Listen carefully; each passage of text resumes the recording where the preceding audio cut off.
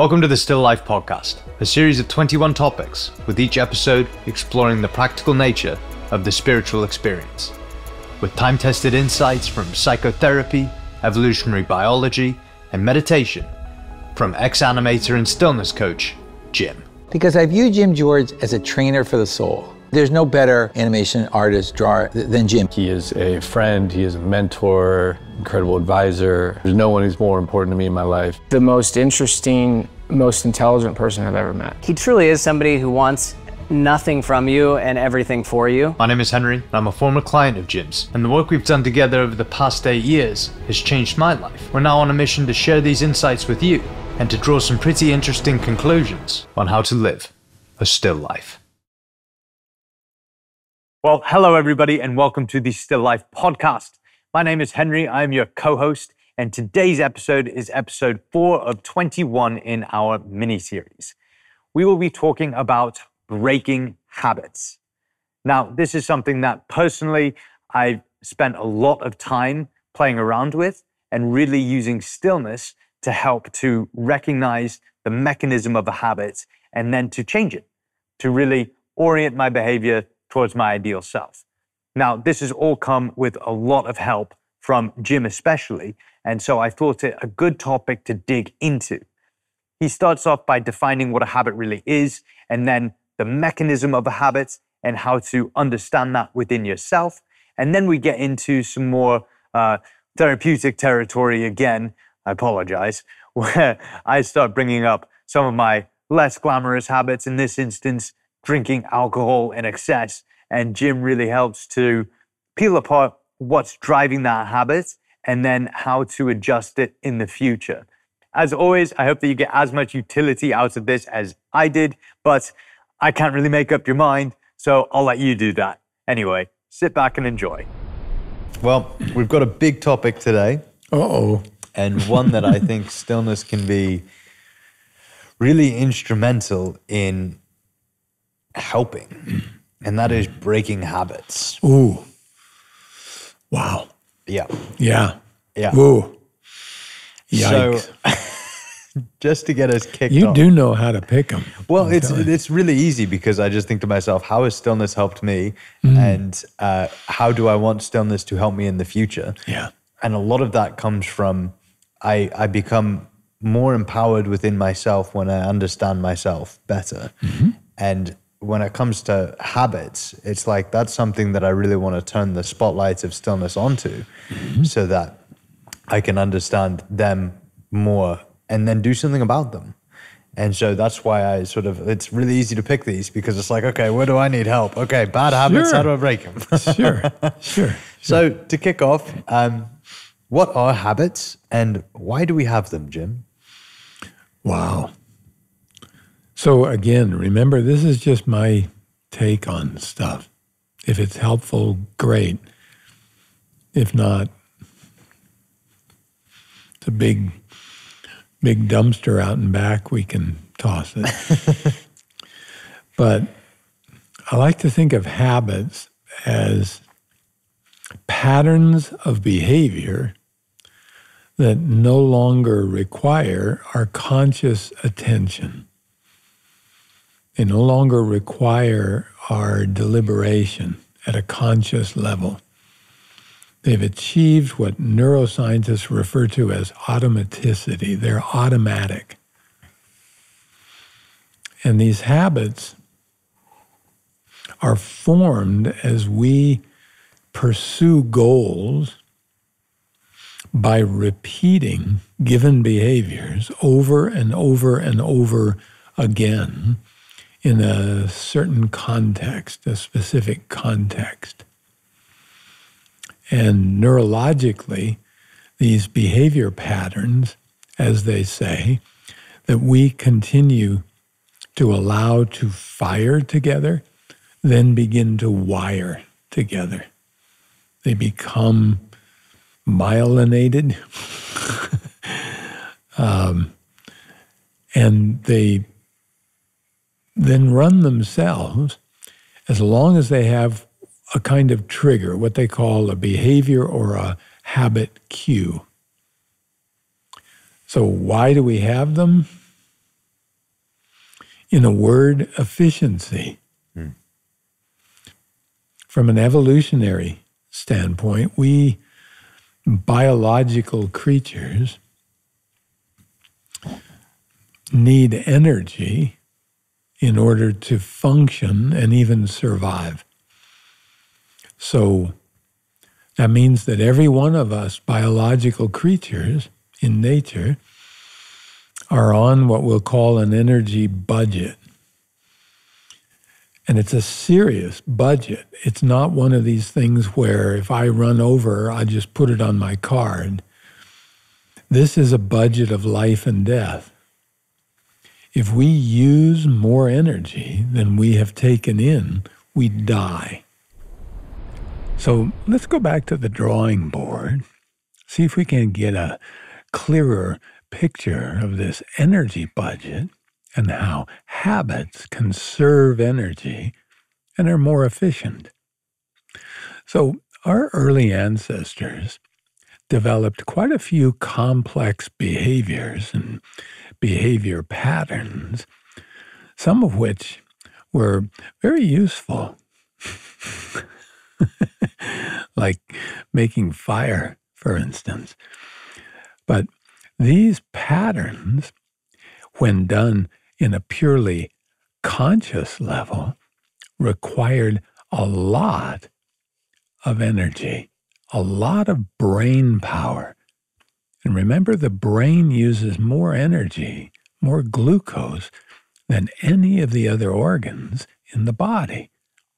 And don't forget, everything in nature is on an energy budget. and Mother Nature doesn't mess around. You use more energy than you take in, and you're going to die. Now, that meant that if our ancestors could do this process, whatever it was, again and again and again and again. They could make it a habit. That is, this thing achieved automaticity. Well, then this pattern took a whole lot less brain power because all of that conscious thought is on automatic pilot now. All it required is what's called a habit cue. A habit cue. In this case, just being cold enough or hungry enough to trigger the habit. And how this guy wound up in Antarctica, I don't know, but you get the idea. So that meant that our ancestors were able to survive, to thrive long enough to pass their genes and some of those behavioral patterns and habits, pass those on to future generations. Does that make sense? So, those are the stakes on this energy budget. Well, we human beings, we Homo sapiens, have evolved a kind of evolutionary gamble, which is these huge brains of ours. These huge brains, incredibly complex. And these brains use a lot of energy in the form of glucose, the primary sort of energy molecule the body breaks down the human brain uses more glucose than any other organ in the body. And I'd like to suggest that when the higher regions of the brain, the neocortex, specifically that prefrontal cortex, and these executive functions that happen that require conscious deliberation, when those things are cooking, that human brain can use more glucose than all the other organs combined. So that's a very taxing investment of energy and time. Because those higher cortical regions require more time. They're slower because they have to do more, neurologically speaking. So if you just imagine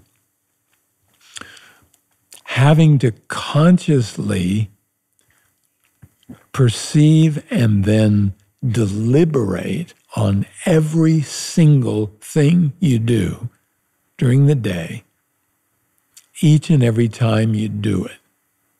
It's almost inconceivable, but try. We wouldn't be able to function at all. We'd be overwhelmed and most likely wind up dying. so far out of our energy budget we'd be. So, what habits offer us is a kind of default response that will occur automatically unless we have the motivation and the ability to tailor our behavior to current circumstances consciously. So, for you to get a better idea of what I'm talking about here, imagine how many habits you engage at a completely unconscious level from the time you get up in the morning till the time you go to work, whatever going to work means. Think about making coffee or tea. Think about how many choices. Can you imagine having to determine where is the coffee stored? Do I even want coffee? Do I want tea? Do I da da da da da da? How do I make this thing? Uh, it it uses water. Where is the water? Oh, that's right. The water is located in the. Da, da, da, Imagine something as simple as brushing your teeth. It's completely automated behavior that you can do while you're on the phone. You can do it while you're thinking completely other thoughts, but you want to try an interesting experiment with how valuable habits are. Just switch hands when you go to brush your teeth. That's all.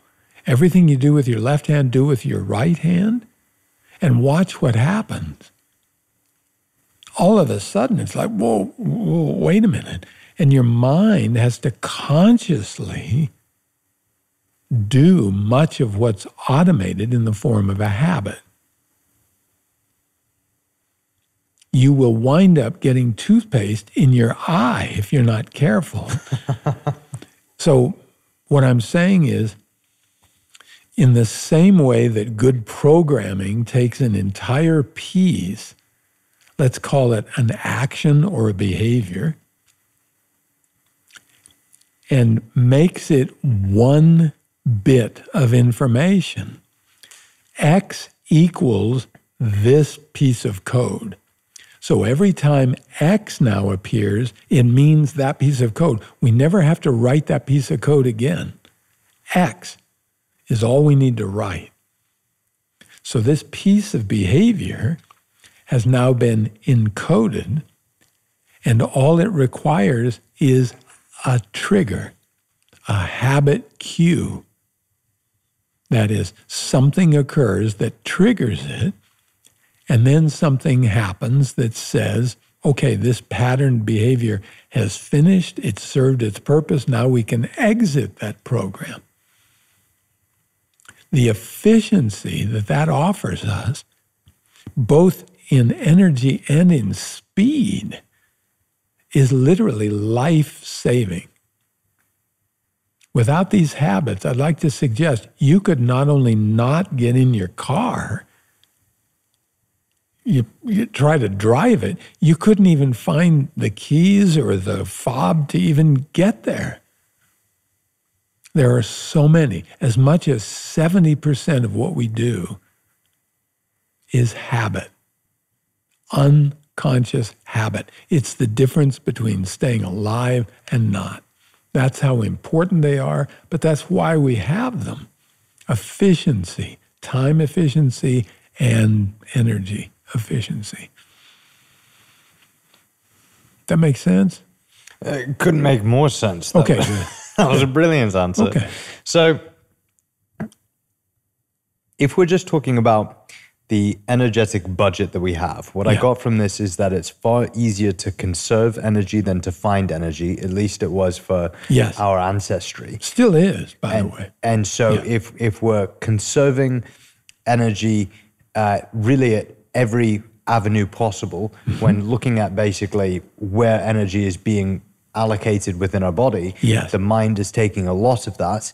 And so, if we're just parsimonious, if we're basically trying to reduce the amount of the neocortex that's being utilized, Mm-hmm. what we can do is create the x equals piece of code. The neocortex is pulling that piece of code together. Yes. The the subconscious mind can then abbreviate that to x. Yes. Create an action pattern around it. Yes. So next time that we go to ride a bike or brush our teeth, we can just press X and all of a sudden Yes. that repeated pattern Yes. will just play itself out. Yes. And what we have there is a habit, Yes. an automated sort of sequence of actions towards a intended outcome that has been practiced over time. that has been vetted and mm-hmm. practiced and serves some purpose.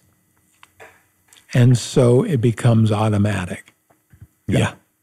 So when thinking about breaking habits, mm-hmm. if we just sort of look under the hood there, there's an implication that we want to adjust these habits to make them more uh, ideal for an intended outcome per se. I'm looking for connection. And within that piece of code, it's like you go to the bar with a group of friends and you drink a bunch of beer and you get what you're looking for, which is connection.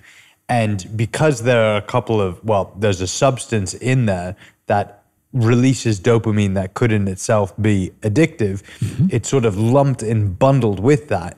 And finding something that is a basic human need, which is connection, is now uh, sort of tethered to an activity that might not necessarily be helpful or healthy for what I want to become in the future. Right. So when it comes to actually breaking habits, it's it's more so let's be really specific with what the action pattern is that we want to break in terms of what maybe it's the associative clump of activities together. Mm-hmm. So firstly, what is a bad habit? Why would we consider something bad? Why would we label it bad? And then secondly, when thinking about habits that we might want to break, using the example of trying to gain connection through drinking with friends, how could we mm-hmm. pull the different components apart to then say, actually, I think that I want to reduce the amount of alcohol that I intake? How, how would you recommend somebody to go about breaking that aspect of a habit that had been Sure. built? Let's start with what, why do we label something a bad habit? I'd like to suggest that we label something a bad habit the minute we realize that it's become what I'll call pathological. Hmm. That is, it's no longer serving our well being.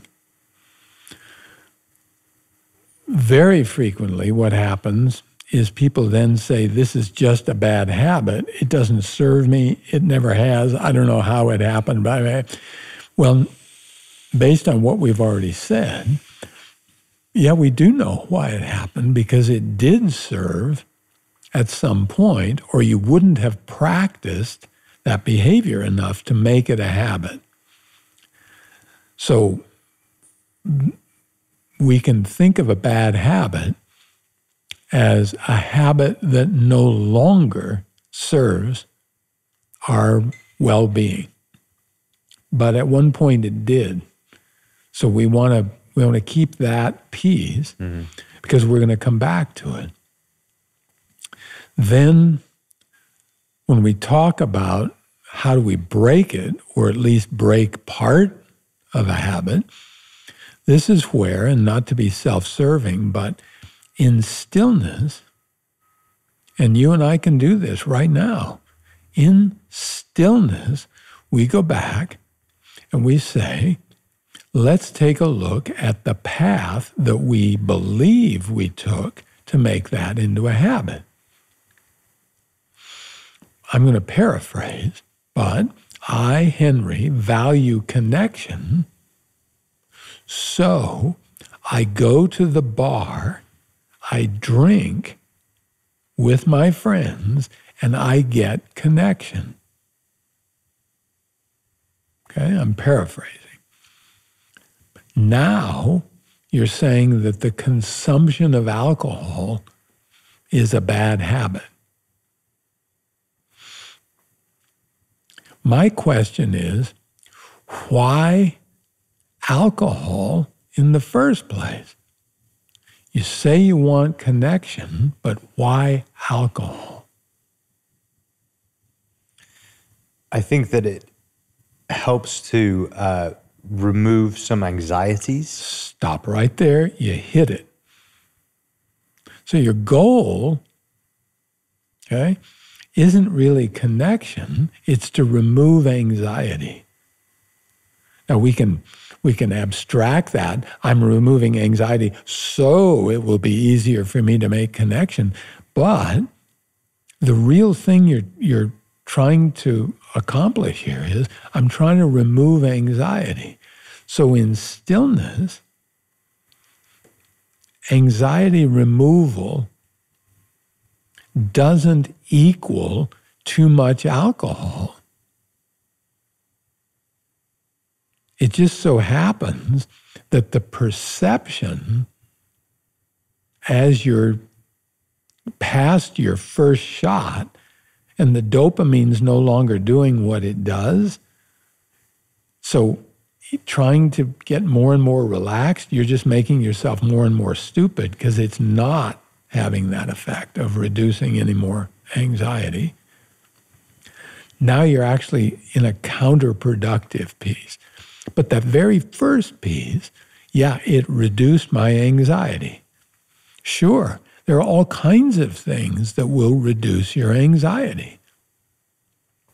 Going into a coma will reduce your anxiety, but it's going to interfere with connection, which you said was your primary goal.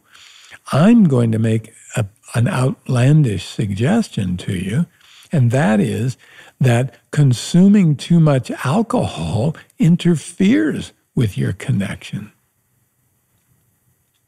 And let me let me just suggest that as long as everybody is getting progressively stupid, the illusion is we're connecting more. But the reality is we're forgetting more and more of what we're even doing.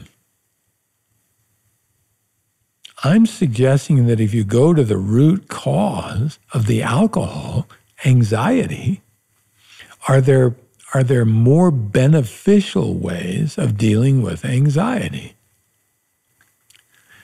Let me ask you a question. As you take a slow, deep, belly first breath right now, hold it. And as you have so beautifully learned to do, let that breath just trickle out of your mouth now. Slow, slow. There you go. Like a feather. Okay? Let me ask you a question. Do you want a drink? No. Why?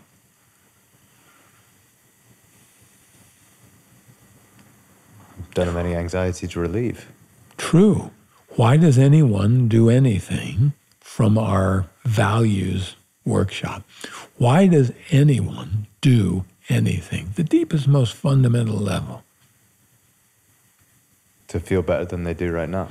Okay, and the operative word is try. To try to feel better than they do right now. Would alcohol help you feel better right now? No. It actually wouldn't. The habit might make you drink before you ever went through this process. But if instead, every time you walked into a bar,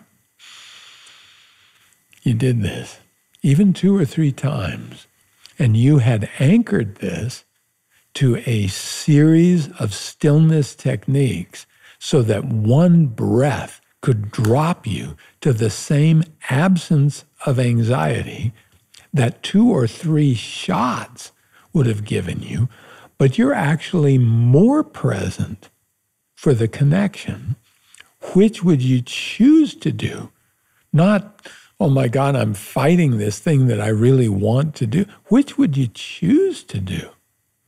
Well, I think that's easy to make the choice in this setting, but I've dealt with this a lot for the last five years in terms of shaking that bad habit of Yes. alcoholism in, in particular. Yes. And I wish it were as easy as getting into the bar and taking the deep breaths because I used to do that. I would go to the bathroom and I'd look at myself in the mirror, take a couple of deep breaths, and like Sure. be like, great, I want to, I don't want to take this to, we just talked about moderation not so long ago. You know, Sure. I don't want to take this to an excessive point. Yeah. And what I found was that like I could get into that state of stillness while while in while in the bathroom and then going out into I would forget it so quickly. Yes. And the the the strength of the habit would take over Yes. in absolutely no time. because it is a default response unless you have the motivation and the ability to tailor your behavior to current circumstances and that takes more effort hmm. takes more energy and it may even take a little more time because it's a cognitive process. And most people don't want to invest the time or the energy. Breaking a habit is creating a new habit. That takes energy, takes time, it takes will, it takes conscious awareness. It is much less efficient, though much more beneficial, than letting your default habit run and, oh, the hell with it, I'm just going to go get plastered yet again because you're practicing the habit. You're, you're embedding that habit even more deeply in your neurology. You see, that's the challenge. You didn't hear me say it's easy. You will hear me say it's simple. Hmm. And the question is what are your goals? Do you want to be free of alcohol? Or it's up to you. That's why I'm reticent to call anything a good or a bad habit. I don't know what your life is, I only know what my life is. And I mean that. There are people that, that I would not, re- there are clients that I have literally said, now, now's probably not the time to try to quit drinking. Seriously, Yeah. because they've got bigger fish to fry right now. So I don't, I don't know if I've thrown too many loose ends at you, but that's, that's the, the fundamentals of what you're asking. Yeah, and I think that what's really helped me in breaking that habit because it's it's been a few years, but mm-hmm. I'm I'm proud to say that like I'm I'm not bound by alcohol as I Good for you. was in the past. Good for you. And I think what was very helpful for me, and this really tethers into prior conversations as well, is firstly having meaning, knowing what I, knowing that I wanted to be or felt a part of something larger and not wanting to jeopardize that. Yeah. But also identifying with other aspects. For example, identifying with this company still life, Yeah. you know, wanting to resemble it, be the same as it, be Yes. identical to it. you know? There was a fundamental hypocrisy that's like, oh yeah, let me tell you about still life. Uh, two Jaeger bombs, please. Yeah, yeah. Uh, you know, that Yeah. really didn't go down so well Sure. and building trust and rapport with people so that they could have an opportunity to play with this tool within themselves was very important to me. Yeah. And being able to do that, using those two aspects in conjunction, were really helpful. But to start with, I I had to sort of you said that there's this aspect of willpower, mm-hmm. and I'm not very good with willpower because if I, it feels like there's two voices within me. You know, if I go to the supermarket and I buy a bunch of beef jerky and I put all the beef jerky in my cupboard, right? If I walk by it and I don't have it, I'll be like, great, you did well. And if I walk by it a couple of more times and I don't have it, I'm like, wow, you're doing so well. You deserve some of that beef jerky. Mm-hmm. And I collapse. Mm-hmm. And so, what's been really helpful is to make a few decisions that then have a domino effect and make decisions for me in the future. Mm-hmm. Where it's like, maybe I just don't buy the beef jerky in the first place. Right. Because I'm not going to leave the apartment to go get some more. Right. And so, I, I say all of this because there was a, a period when trying to break the habit of drinking, where it's like they say in Alcoholics Anonymous, if you don't want to slip, don't go where it's slippery. Mm-hmm.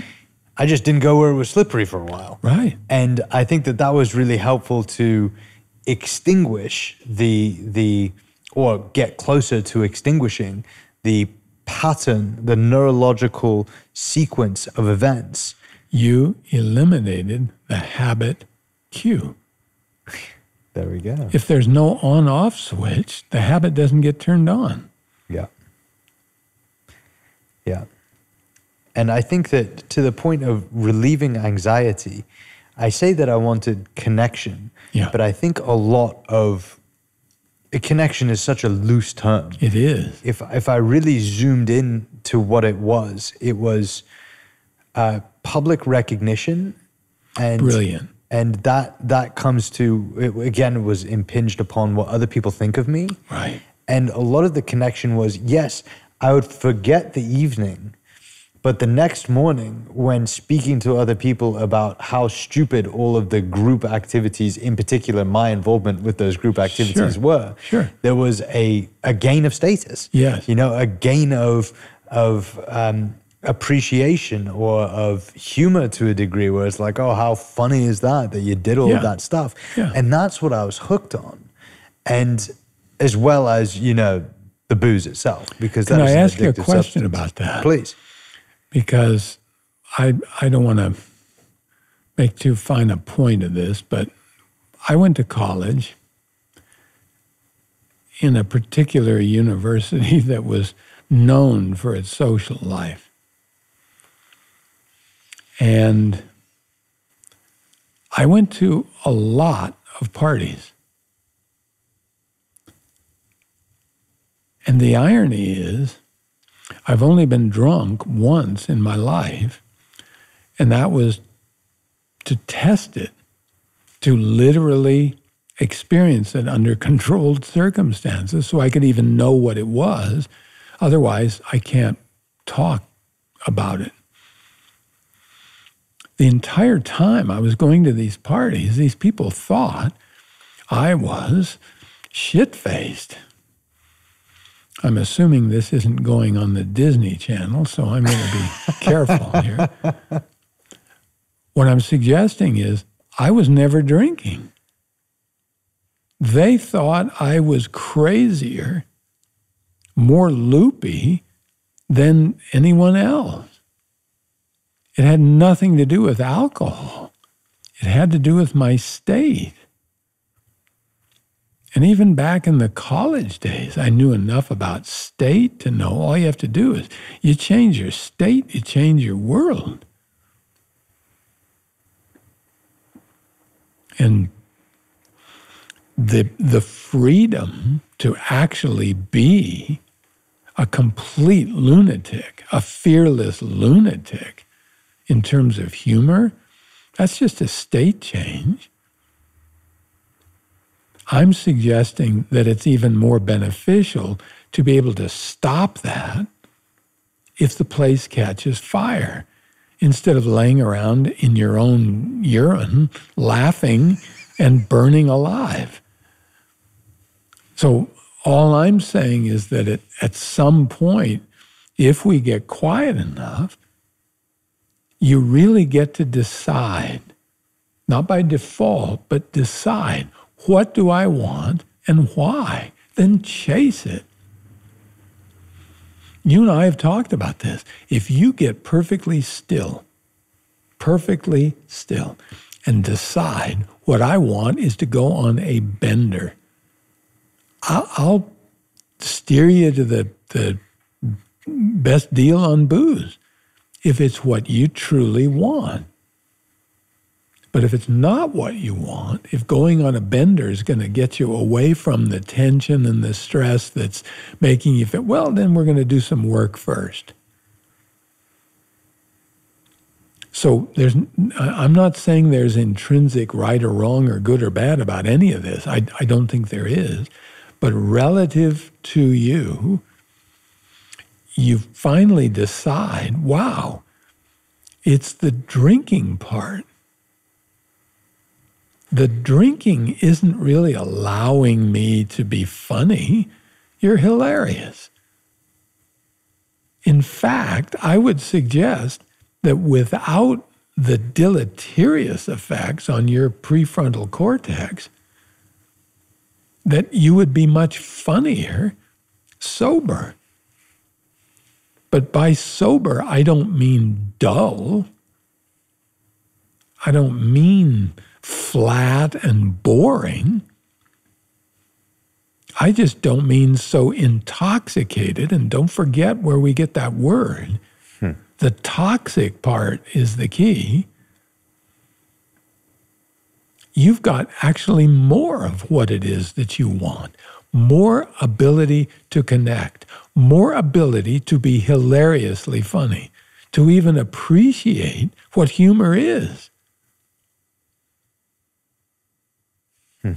Well, I just had two light bulbs go ting ting oh, good. in my head. Good. Uh, the first being, I really struggled when I would go to these slippery places and not yeah. drink. Yeah. And you just really helped to illuminate that it wasn't the not drinking that was what was making me struggle. Nice. It was the state of mind that I was bringing to it. Yes. Because people can pick up on that whether they consciously know it or not. Yeah. And I remember way back in the day when I was studying for my MCAT, I decided I don't want to drink. And it was really easy because I had this excuse and it was a really good one that people could connect with right away. Sure. There was no insecurity and people were like, good for you. And you're still at the party. That's awesome. Right. Right. Um, when I was going into these sort of environments with more of an insecurity where it's like, I'm actually trying to stop doing this. Yes. Uh, they could pick up on that state of mind. They could Are you up, going to think less of me for not joining in the group? Exactly, exactly. And people could pick up on that and feed off of it. And it wasn't necessary. That was making it harder to break the habit. Yes. Instead of if I had invented an excuse where it's like, oh, you know, I'm I'm pregnant, you know, people Right. aren't going to give me a hard time about Right. it, are they? Well, they might. Well, yeah, that, that, that might actually provoke some other questions. Yeah. yeah. Anyway, anyway, there was another point where um, I was just rewatching and uh, going through the identity thing that we filmed, and there was a, a, a point that you mentioned where when somebody is taking more time to really get whatever it is that they're saying out, I don't want to use Right. myself in this example because I'm actually trying to think about things, um, but I do take a long time to think about things and get it out, so I apologize. Uh, but you mentioned that it might be the case that they're trying to be somebody that they're not, Yes. and that they're a step away and they're activating this prefrontal cortex Yes. because the the analogy that you used is the the in the attic watching the party Yes. instead of actually being there Yes. and i think for me a lot of the the reasons that well one of the reasons that i was so attracted to alcohol in the first place is because of this dulling of the prefrontal cortex i could kind of switch off that mechanism that was trying to be somebody that i wasn't why? uh, because wh- why was i able to do that What's wrong with who you are? Well, there's there's nothing wrong with who I am, but I have been rewarded in the past for being a caricature of myself, and that was something that I constantly wanted to inflate because people liked that, and and that was something that was it was really important to me, and it still is to have this this feeling that other people like and appreciate me. More important than respect you? At that point, yeah, It's interesting, isn't it? yeah, If you had said no, well, we'd have to investigate that because your behavior says No, who cares about the respect? I want people to like me, to appreciate me. And these are all values, driving behavior. But understand that having goals drives action by clearly defining an end state. There's a marvelous team, Wendy Wood. I can't be, uh, God, I can't remember the other name. Bruce, somebody who who did enormous work. We'll, we'll have to add this, ma- make an addendum. I'll I'll come up with it later. I know. Yeah. Um, did tremendous clinical work with habits, and their their finding was how important goals are because these goals literally energize and drive action by clearly defining an end state. So mm-hmm. you will repeat that action again and again in an attempt to get this end state. The end state in your case is people like and appreciate me. And I feel what? When they give me signals that they like and appreciate me. What do I feel? Accepted. Good. And when I feel accepted, what does that give me? Sense of calm. Calm. Well, it's not really calm. I feel accepted, and that that gives me a sense of like it's it's kind of security. I think this all loops back to Yes. status to a degree. Yes. Where it's like this group likes me. Yes. And so uh, they'll they'll keep me close if things get tough, and uh, there's just this very primordial uh, correlation there, where it's like, and that's increasing my likelihood to survive. I guess maybe. Well, let's get to I feel security. Mm-hmm. Okay. The fun part about working with values through stillness, just working abstractly with values, you're you're just going to lie to yourself. But you have this ability to get still and work with your values. And so now all we have to do is use what you've said. There's just wisdom. Your, your true inner self is begging for these questions. Okay? What are you insecure about? Why do you need security? And we're talking back when you were drinking. Why? Uh, it gave me a, a higher sort of chance to cooperate with people. What are you insecure about? You're looking for security. I don't have security. What are you insecure about? Oh, my personality. Good. Why? There's a an obvious answer that I'm a paranoid Homo sapien, so that could be that could be one piece to it. But why am I insecure about my personality?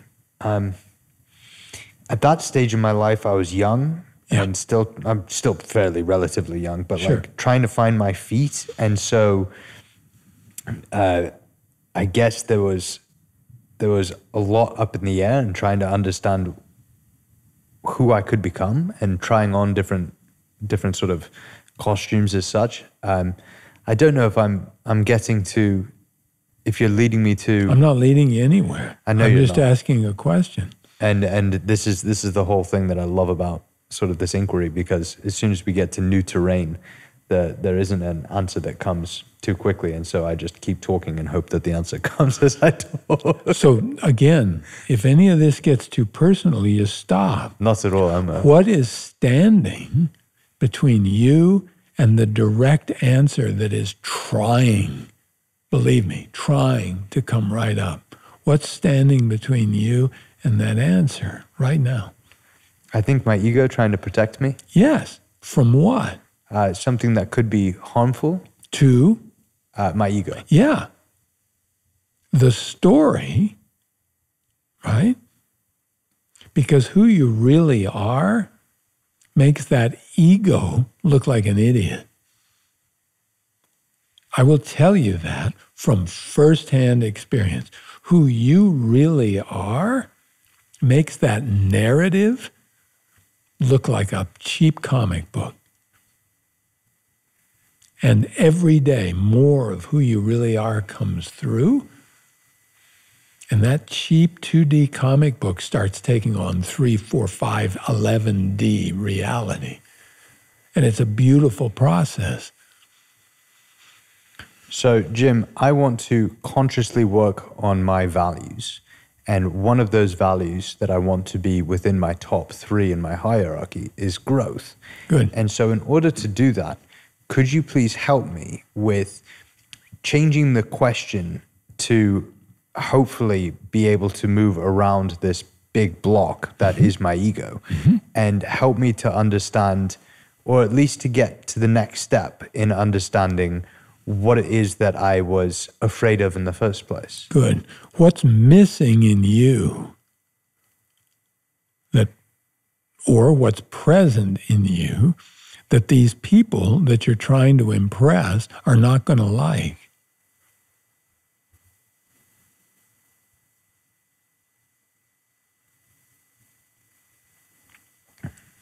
I just got still and I could feel all of these different parts of myself that had uh, that had built up to me, and there are parts that I just don't show or I don't I don't advertise. Why? They might not feel contextually appropriate, or they might not like they're sort of uh, childish. A lot of them. Have you ever wondered why the behaviors at especially very young parties are always the same? I had an amazing experience one time when I was in the film business. I was invited to one of these Hollywoody things with big wigs and whatever. And my wife and I were walking around feeling about as out of place as we could possibly be. Being nice, doing what people do, trying not to backbite. That was the one thing we were trying to avoid. but the interesting thing, by the end of the evening, all of these people in the context of the party wound up gathering around where I was just sitting there with this bigwig producer and his kid doing what you and I are doing. And it was the it was the place to be. Nobody was drinking, nobody was acting stupid. They were acting real, but no one had ever broken that contextual this is what you do when you're at a party. First, this is how you stand. And every once in a while you do this, and everyone just talks about their stories and blah, blah, blah. And the only time it gets real is when you're in the car on the way back saying, oh, geez, those Philbies, they drive me nuts. Th- this was a magic moment, though, because we broke that context. And I'm saying I didn't do something intentional, I was just being who I am. And I'm sure there were people who were still out, you know, trying to find the, the bar at this point who who just thought that was idiotic. That's not what you do at a party, but it was a memorable party. Because of the magic, not because I was trying to get attention. I was pretty much listening by the time this thing took off. People are starving for authenticity. They're just afraid to be authentic. maybe maybe it's not so much a fear thing. Maybe it's they don't necessarily have the tools to to be authentic in the first place. Because I Not know yet. that Yeah. not yet. Yeah. Because I know that uh, stillness has been incredibly beneficial for that. And again, stillness is a it's a bloody word. It is. What I mean by that is a state of being without the the narrative, without the natter, and you can train your mind to get there whenever you need. And exactly as you were just mentioning that, I think to myself that I could have been far more elegant going into these bars when I wasn't necessarily all that conscious of my state of mind mm-hmm. and was sort of this uh, frail and uncomfortable version of myself that was desperately grasping for approval and mm-hmm. saying, "Oh no, you know, I'm not drinking," and not necessarily getting that approval whatsoever. Instead, making people either feel bad about themselves for drinking, Yes. or feel as if I had changed and that they couldn't really trust my future behavior. Mm-hmm. You know, that was that was uh, maybe an in a poor strategy to play. Whereas if if I had the ability to remain composed and continue to get still, that might not have even been a topic of conversation that we approached. I think you're onto something now because what you're projecting is insecurity about what you're doing and who you are. Now you're projecting absolute security, almost authority in, in who and what you are. And you're right. Odds are it's not even going to come up. That was my experience all through college. No one ever tried to force me to have a drink. Like, Jesus, what do you want this guy to just fall over? He's clearly drunk already. I mean, that, that it never came up. And all I'm suggesting is you're hitting on this powerful thing that happens when we get still.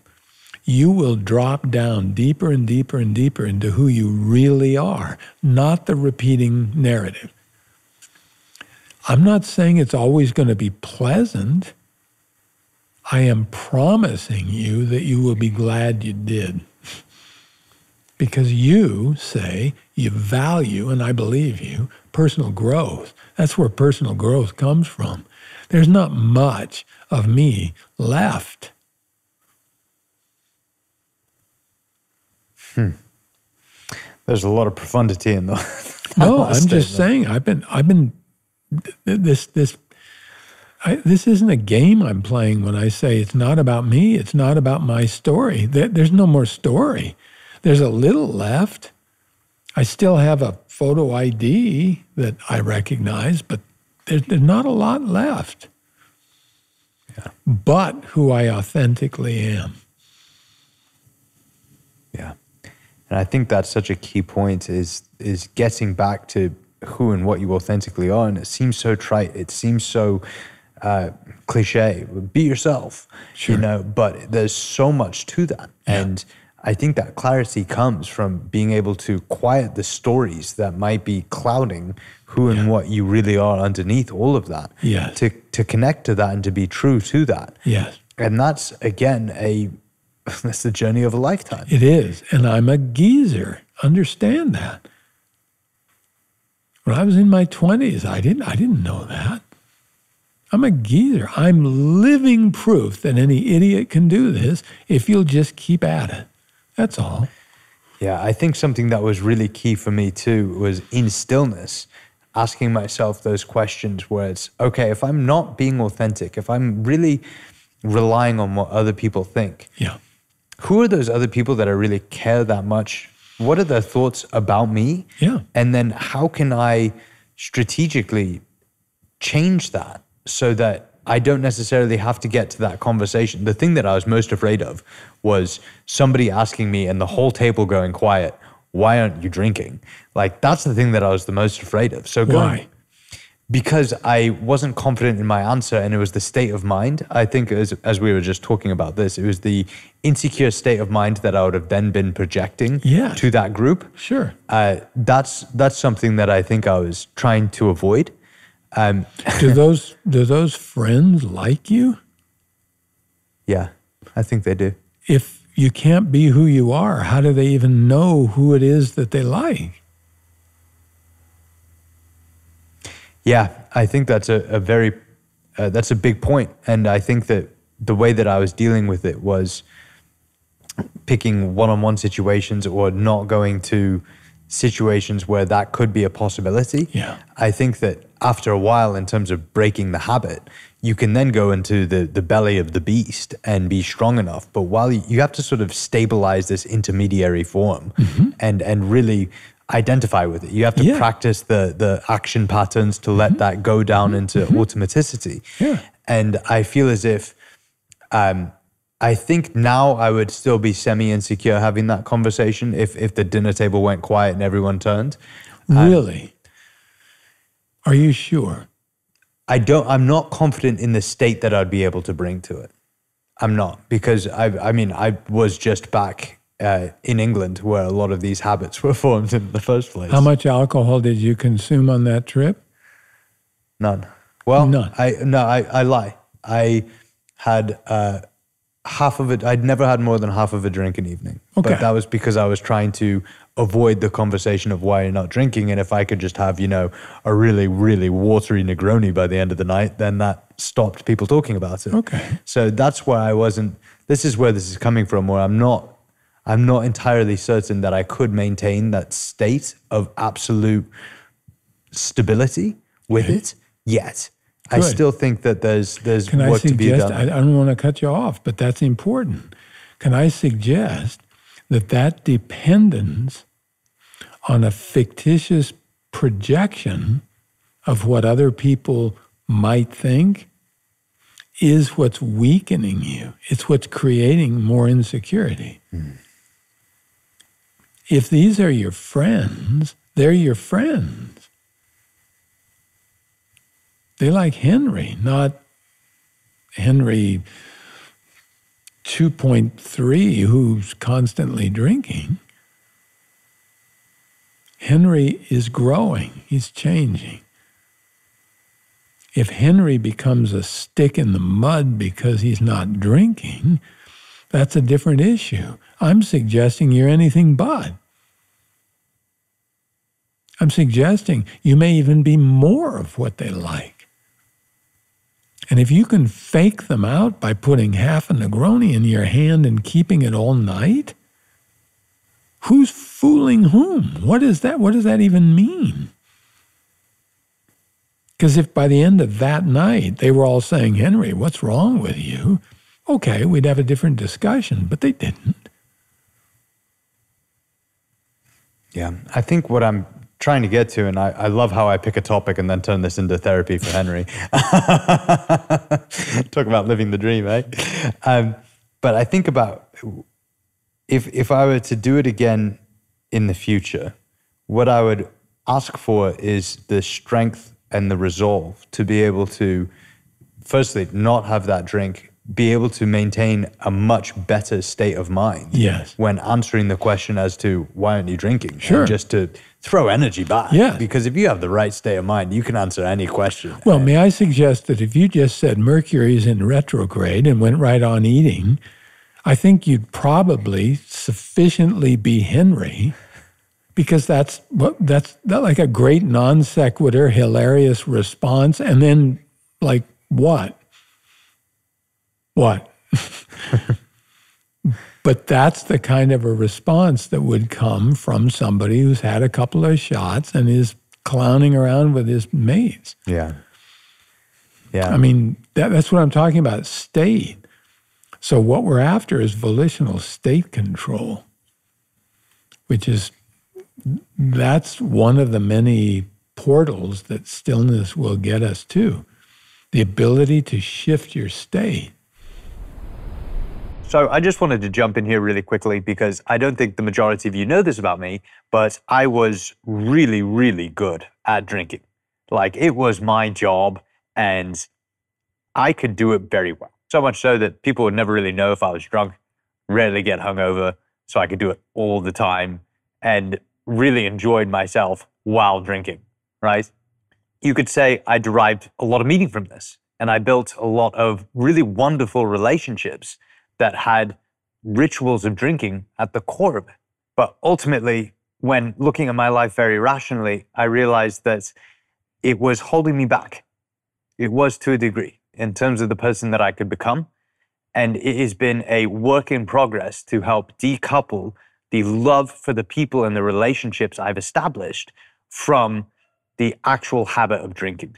Now, some of these tactics are helpful. There are two that I mentioned in particular. One of them was avoiding group situations, you know, just isolating and seeing people one on one so you can maintain that connection and like nurture the relationship.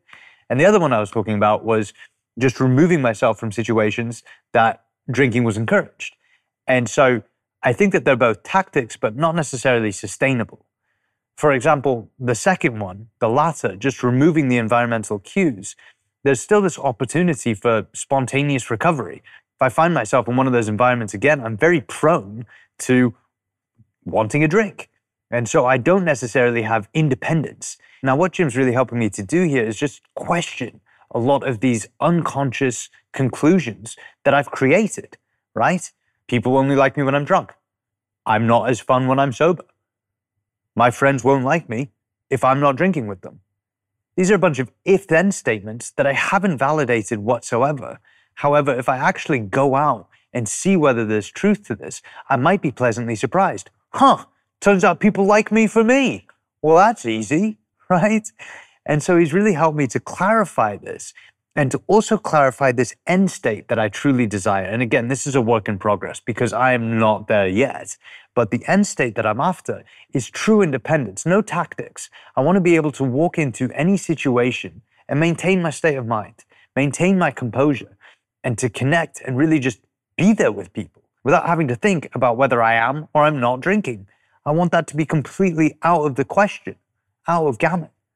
Anyway, that's what I'm after, and I can't thank Jim enough for helping me get there because I know what it feels like to be insecure. I know what it feels like to be excluded. I know what it feels like to not feel like myself.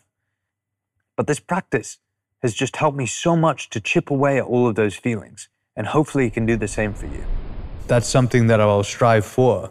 And I think that ultimately, through stillness and through this conversation, this discourse, Yeah. uh, this this dialectic, Yeah. this has really helped to uncover some of the subconscious processes that were trying to emerge Sure. that uh, I was blocking because it, I thought that it might hurt my the story that I was telling myself. It will, Yeah, and maybe that's a good thing. right? Right. Maybe that's a but good thing. see, this is where I I just so love and admire you because you're living your values. I don't expect 0.01% of the people I encounter, let alone the whole population, to take it to this level and say, my internal freedom is more important than anything else. I'm tired of being a slave to my patterns, my habits, my fears, my worries. My, I'm just tired of that. So I want to get rid of all the things that are binding who I am, enslaving it. I want to be free. And then living it, because that means you have to let go of everything past who and what you truly are. That means you have to go discover what that really is. We're in a culture that says, Who are you? What do you do? That's you. I'm a, you know, vice president in charge of sitting by the door. That's who I have to be. I am that.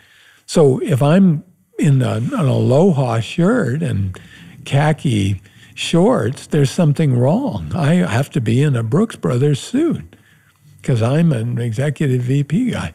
Okay. Or then when we go party hardy, I have to just live the debauched life because that's what the vice president in charge of sitting by the door has to do. That may not be authentic. But this culture isn't about engendering that kind of deep internal work. It's more about what's out here, which makes it even more important to explore what's going on inside. That's all. Because that's where the freedom is.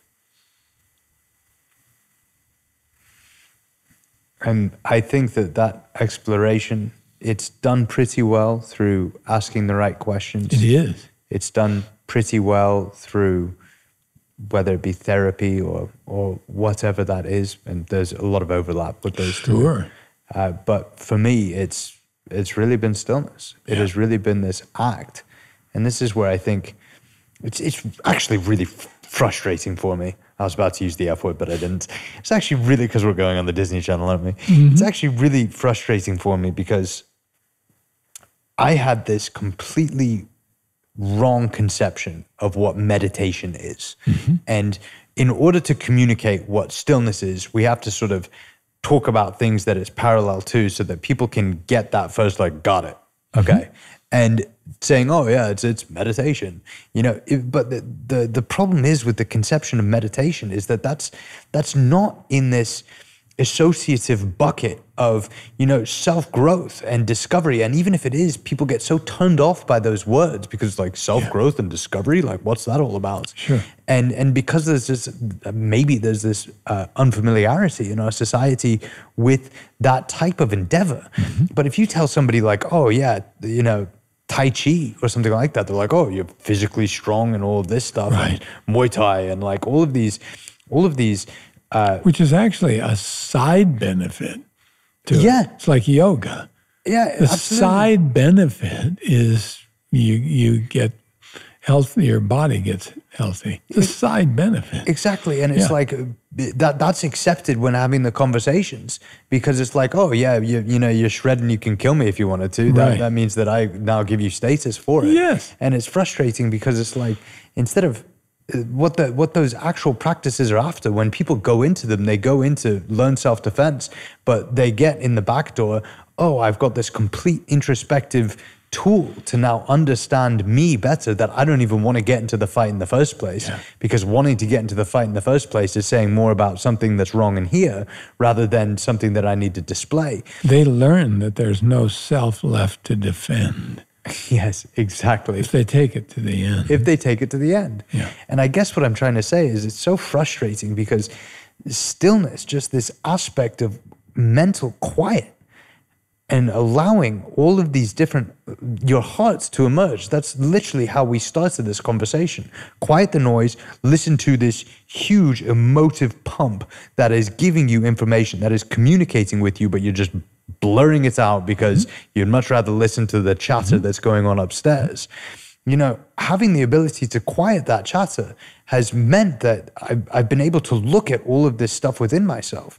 It is one of the coolest things around. It is, I feel like a 14 year old kid again, where I just want to run up to my bedroom and practice. Sure, sure. And that to me is like, it's so frustrating because you, you can't just, you can't put that on a bumper sticker. May I suggest something, though? Your enthusiasm, your authentic enthusiasm, not a carefully studied cool, but your unbridled, authentic enthusiasm is going to be crucial to breaking that wall with a lot of people. Try to understand how perfect this all is the, the reason more people aren't interested in trigonometry or U.S. history is that the people teaching it aren't that turned on by it. I know people who became math majors in college because they had a teacher who was so lit up by the fact that mathematics, and hear me, is an incredibly precise way to know God. One of my best friends in college was a math major because he knew that and was in the process of doing just that. Because he wasn't happy with "Eh, God is good, God is. No, he wanted to know more precisely but he still wanted to know. I think you're going to open up as many doors to people to what stillness is by just being as enthusiastic as I am about it, but but being in in this particular group of of people that I'm way past. I'm I'm a geezer. And and that's the key. Why should I care about meditation? Well, you talk to somebody who's a master meditator, and they, they would never do this, but, well, just light your lighter and put it under here. It's like it's starting to cook. That's why you want to be interested in meditation. Because if I can do that, eh, very little in life going to get me. But that's one of those movie moments. These, these guys would never dream of doing that, though they could. What we're suggesting is that would be using parlor tricks. We don't want to do that. What we want is for people to find a place in themselves that says, wow, I get it. The reason I'm suffering is between my ears. It's not what's happening out there. The problem isn't the problem. The problem is my response to the problem because I don't know my mind. That's why stillness is not in competition with meditation. Meditation is a tool to help you learn to know your mind. That's all. And there's a thousand different versions of this. I love them all.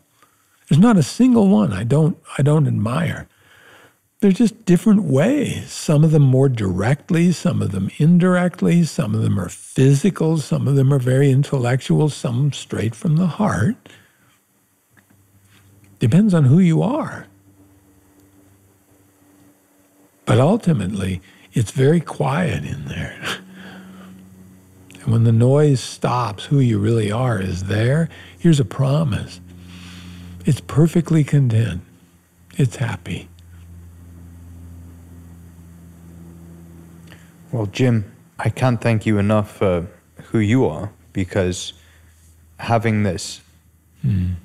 you've been so sort of non biased in looking at all of these techniques and discovering them and and trying them out for yourself to then refine them, to then communicate this to other people so that you can share this state rather than telling somebody all the benefits of meditation or cooking your finger on a lighter. Yeah. Actually giving somebody that experience within themselves rather than some sort of, again, parlor trick.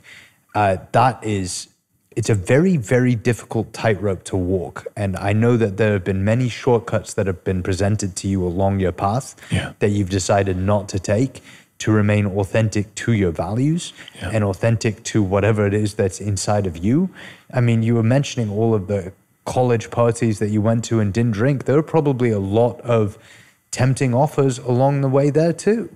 And I just can't thank you enough for your strength because there have been battles that I know that nobody has seen, only yourself.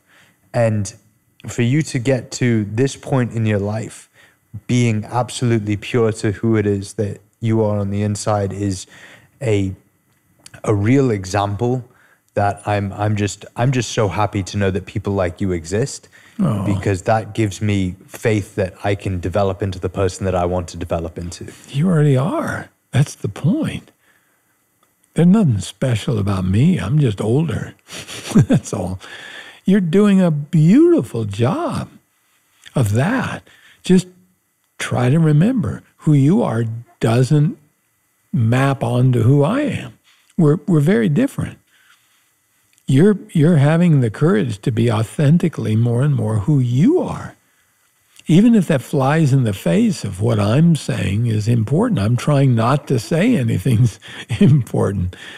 But there are people who know me who think that I believe certain things are off the table. You can't can't do that.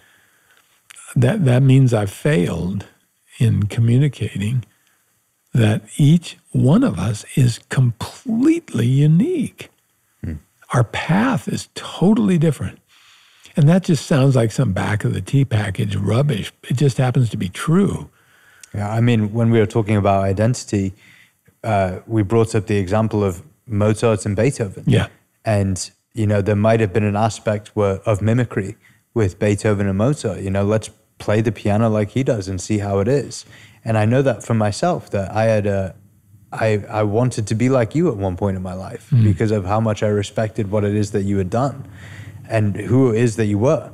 But I think the greatest liberation that I've gotten through stillness is knowing that my path is absolutely unique. Yeah. And to to butcher a line that you used in the talk that we had about identity, it's like I don't want to be a second rate Jim. Yeah. Fuck that. Yes. There's the F bomb. We got there, guys. Yeah, there you go. But I would much rather be a first rate version of myself. Exactly. And that pursuit, again, is freedom. That pursuit is everything that we've been talking about because that pursuit of being that first rate version of myself is a mm-hmm. constant checking in with what is that self? Yes. And what habits aren't necessarily Yeah. conducive to that person? And how can I then adjust the circumstances and really adjust my state Yeah. so that I can be that person in real time more of the time over and over. And if people don't like that, you know, right back to the identity piece, it's like, great, I should be absolutely content. They're doing you a favor. Yes. Yes. Now, what? How can you possibly lose in the pursuit of that goal? How can you lose? You can't. I mean, someone going to tell you you're not doing it right? How, how would they know? It's the most exciting thing there is. It's the, it's the only frontier there is. That exploration right there. And wherever it leads, follow it. And then try, if you can, to build a community, because we need community, we need connection of people who are at least enough of a like mind to respect the fact that this is where Henry's going. And ultimately, we're all going a little bit different, a little bit different path. But we're in this together. And we're not expecting other people to robotically reinforce our insecurities by behaving the same way habitually, not to bring it back to our topic, again and again and again, so we can predict what they're doing. Because frankly, that's a pretty boring person.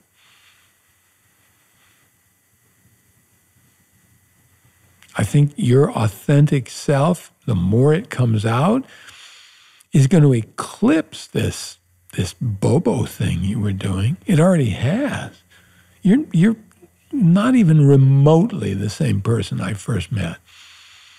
Not even remotely. Well, it's because you taught me to th- fish. So thank you again, Jim. Um, I actually I can't thank you enough for all that I've learned about myself through this practice, through your example, and through the work that we've done together. Oh, bless your heart. Well, you've done that work. That's the part I can't help anybody with. They've either got the willingness, the ability to do the work, or they don't. Now, that doesn't mean there's some prescribed way you have to do it, but if you if you just don't care enough to do the work, because it is work, I'm not going to lie, and it isn't always a a trip through rose petals either. I mean, it it will burn Yes. just like a good workout burns, but the benefits, woof, way outlast that cherry chocolate cheesecake and the and the habit of missing a workout. Well, on that note, let's tie a bow in this um, because we got our soppy moments in towards the end, which is starting to become a habit that I'm very fond of. Um, but I love you, Jim, and thank you again for chatting with me. And really, thank you for the therapy because I Oh. came to a lot of understanding about myself in this one.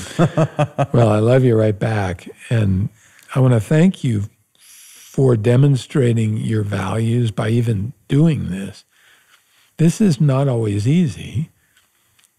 And I want to thank all of you for being interested enough to be here with us. Because if you're not, well, this is what's known as solipsism.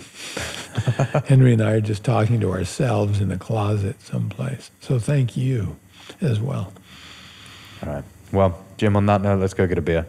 Yeah, exactly. I'm buying. So, as always, thank you so much for tuning into this week's episode.